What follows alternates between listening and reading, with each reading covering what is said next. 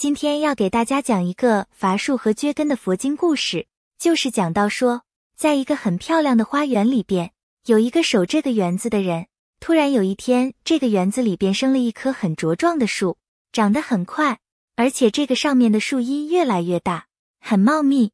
那么很多人就到了园子里走累了，在这个树下来乘凉，年轻的也有，年老的也有，觉得在下面特别凉爽，特别舒服。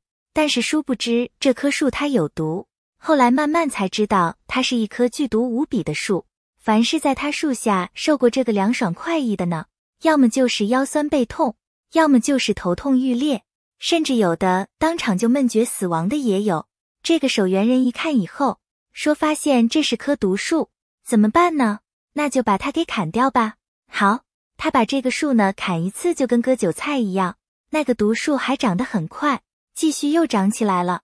每砍一次，它又长一回，越来越茂密，甚至他这个守园人自己的六亲眷属。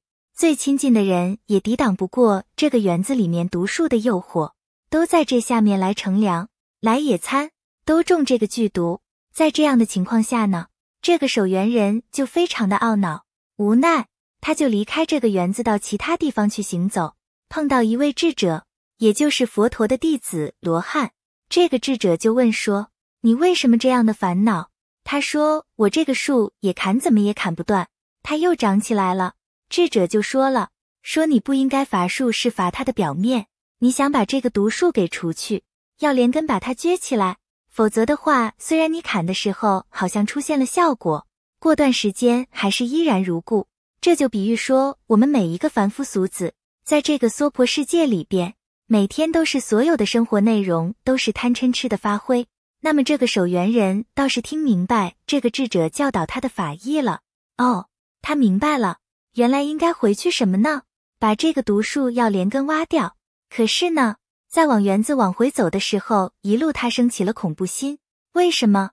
哎呀，他就觉得说，我要是把这个树连根拔掉了，以后会不会还有人来在这个林子里来游玩？到园子里面，那么假如果我把这个树连根拔掉的话，自己会不会因此受到国王的迁怒，把自己绳之以法呢？或者把树挖掉以后？国王还让不让他继续守这个园子，他就越想越害怕，最后就升起了不想把这个树连根拔起的念头。大家看，从这个故事中，我们平移过来，对照自己的内心，特别是作为一个求解脱、学修佛法的人而言，厌离心、出离心，也就是出这个生死苦海、三界火宅，是最根本的上道之处。很多时候，我们也在泛泛的号称学佛。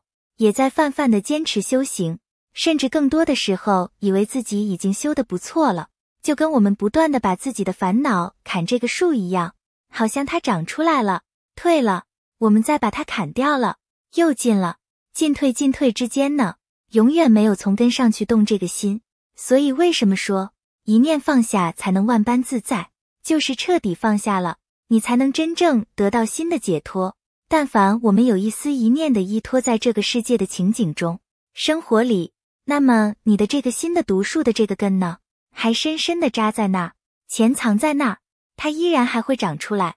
那我们又讲到说，念佛的人修净土，为什么说要厌离娑婆，要舍弃现前的这种所有我们的习以为常、久久养成的对这儿的依赖性？